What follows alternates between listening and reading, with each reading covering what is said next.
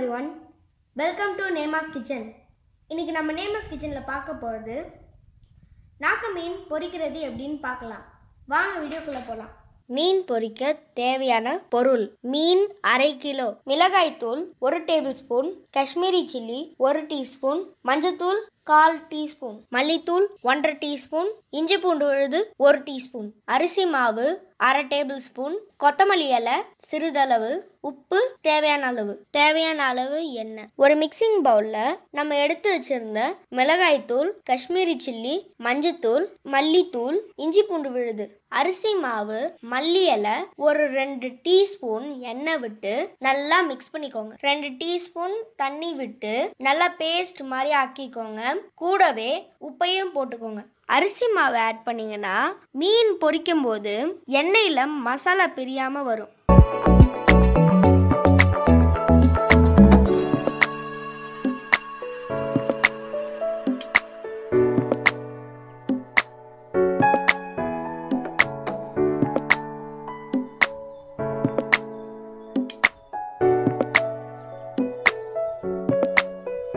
நம்ம ரெடி பண்ணி வச்சிருந்த மசாலாவில் ஒவ்வொரு மீனாக எடுத்து மேலே அது மசாலாவை போட்டு நல்லா தடவி விட்டுருங்க.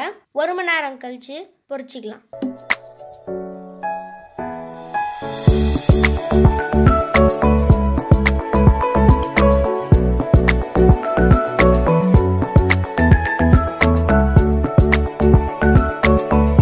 பேனில் எண்ணெயை ஊற்றிக்கோங்க எண்ணெய் சூடாகட்டும். எண்ணெய் சூடாயிடுச்சு.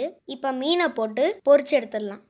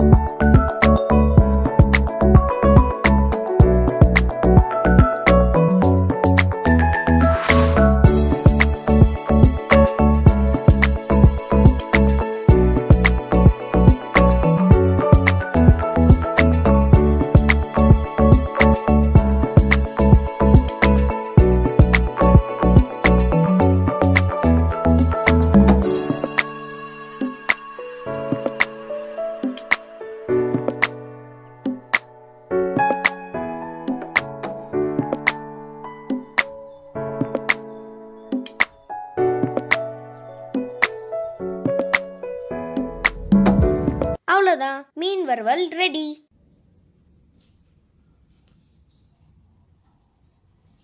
பொரிச்ச மீன் வந்து ரெடி ஆயிடுச்சு. வாங்க டேஸ்ட் பண்ணி பார்ப்போம்.